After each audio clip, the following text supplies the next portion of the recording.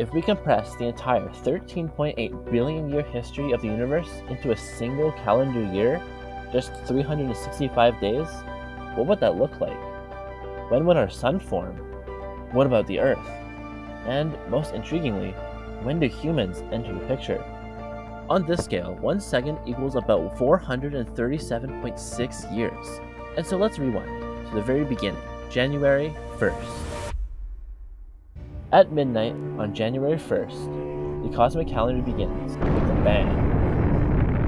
The universe as we know it emerges from the Big Bang, an infinitely hot and dense point that expands rapidly. In an instant, the universe grows faster than the speed of light. At first, it's too hot for even subatomic particles to exist, but as it cools, quarks and electrons, the building blocks of matter, are born. These quarks form protons and neutrons, which eventually make up you and me. By only 14 minutes and 28 seconds into our cosmic year, the universe cools enough for electrons to orbit an atomic nuclei, forming the first atoms, hydrogen and helium. These atoms emit the first light in the universe, the cosmic microwave background radiation, detectable even today, but no stars shine yet. A faint orange glow lasts for 3 million years before fading, plunging the universe into a long, dark age. On January 8th, something beautiful happened.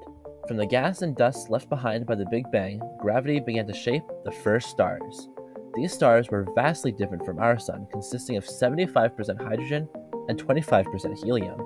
Stars generate energy by fusing lighter elements into heavier ones in their cores, creating the metals we see in the universe today, like carbon, oxygen, and iron. But since these were the first stars, there were no processes in place to create heavier elements before them. These stars were 10 to even hundreds of times more massive than our Sun, and lived for less than only a million years. And due to their age and short lifespan, we have yet to detect any of these early stars in our observations. It's January 19th, and the universe has become filled with stars, brightly shining and exploding into supernova. Gravity is hard at work and has finally begun forming the first galaxies. These galaxies started small, but will eventually grow by merging with their neighboring galaxies. Soon after, our home galaxy, the Milky Way, is born. At this stage, the universe is just 6% of its present day age. Meanwhile, the beautiful structure of the universe as we see it today, the cosmic web, which kind of resembles the neural pathways of the human brain, begins to take shape. Gravity pulls clusters of galaxies together, and over time, these will grow into the superclusters we observe today. These formations will take a lot longer to fully develop. It would have taken all the way until April 11th for the first stars like our own sun to begin forming. These stars would have been rich in heavier elements like iron and carbon, allowing planetary systems like ours to form with rocky, Earth-like planets. This could mark a distinct point in the universe's history, when planets capable of supporting life first began to emerge, creating a new era in the cosmos. And then it happened. On September 1st, the Sun and the early solar system began to form, with the protosun igniting and the massive planets Jupiter, Saturn, Neptune, and Uranus starting to take shape. Neptune and Uranus at this time were much closer to the inner solar system than they are today. Some scientists believe that one or more ice giants may have formed before being ejected from the solar system. The Sun began its fusion processes converting hydrogen into helium, marking the start of its 10 billion year lifespan. Soon after, the rocky planets Earth, Mars, Mercury, and Venus began forming. But there is also Theia. This planet, roughly the size of Mars, may have been destined to become a second Earth, until the Great Collision. Theia crashed into the young Earth, sending debris scattering across the solar system. But instead of disappearing forever, Theia survived as our moon. It would take another 22 days of growth on Earth, with volcanic eruptions, ice ages, and seismic activity before something remarkable occurred. For the first time in the universe, as far as we know, life emerged in the deep oceans of our young planet. The leading theory suggests life began near, near volcanic vents on the ocean floor. The extreme pressures combined with the fluids from these vents and ocean water may have reacted with minerals to form the first organic molecules, the building blocks for all life. The first life forms were single-celled prokaryotes. These conditions exist elsewhere in the universe, and even in our own solar system today. Saturn's moon Enceladus and Jupiter's moon Europa are believed to have vast oceans beneath their icy crusts. Who knows, maybe life is emerging on those moons right now, just as it did on Earth, or perhaps it already has. As the year draws to a close, some important milestones are reached. On October 3rd, the first photosynthetic bacteria begin to emerge. These early bacteria absorbed infrared light instead of visible light and produced sulfur rather than oxygen. Later, on October 21st, a new microorganism called cyanobacteria began a beautiful process. Using sunlight, carbon dioxide, and water, it created its food through photosynthesis, with oxygen as a byproduct.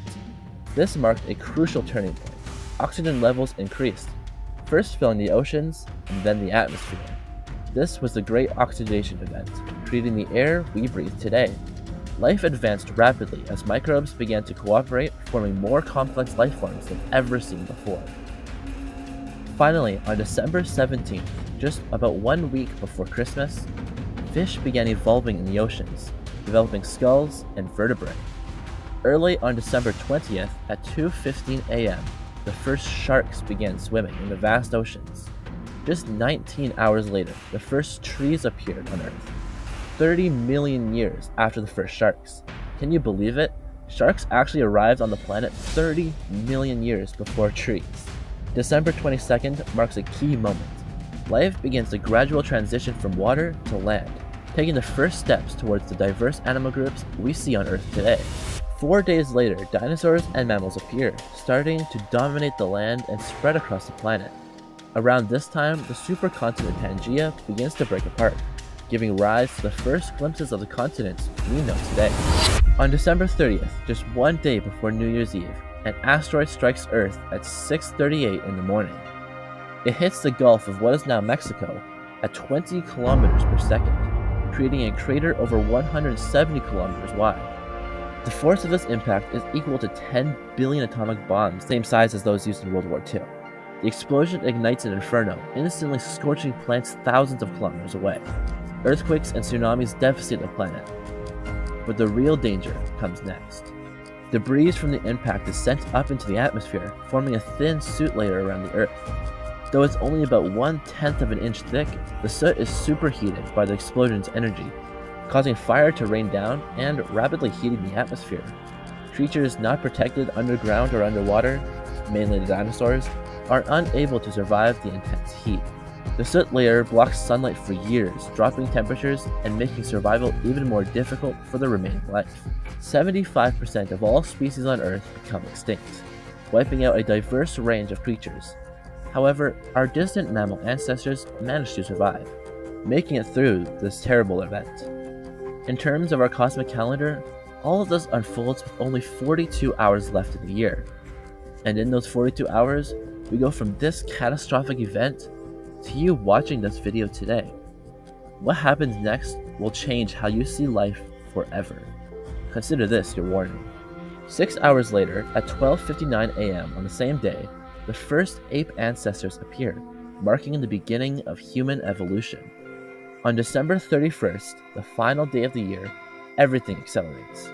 You ready? At 10:15 p.m., the human genus emerges in Africa. An hour later, at 11:37 p.m., the first Homo sapiens are born. Humans now walk the earth with just 23 minutes left in the year. History is moving fast. At 11:59:31 p.m., with only 29 seconds to go, humans invent agriculture, shifting from hunting and gathering to farming and settling in one place. With 14 seconds left, the wheel and writing are invented in Mesopotamia. At 12 seconds to midnight, the Egyptian pyramids are completed. Seven seconds before the year ends, the great philosophers of ancient Greece like Archimedes and Plato are alive and shape thought. With just three seconds to go, Nicholas Copernicus discovers that the Earth isn't the center of the universe one second before midnight. In this final second of the year, the last 400 years of human history are compressed into a single fleeting moment. This second holds Galileo inventing the telescope and observing the universe for the first time, Newton formulating the laws of motion and gravity, the discovery of electricity, Darwin's groundbreaking theory of evolution, Einstein's theory of relativity, and the unraveling of DNA structure, and encapsulates the horrors of World War I the creation and devastation of the atomic bomb during World War II, the founding of America, the invention of the telephone, the discovery of Pluto, the first successful heart transplant. It contains the fall of the Berlin Wall, the first satellite, the Cold War, the Renaissance, and the entirety of Mozart and Beethoven's works. It marks your birth, the first time you fell in love, the first photograph, the first video, the moon landing, the birth of the internet, and you, sitting here watching this video. Everything, all at once, in just one second. That's perspective.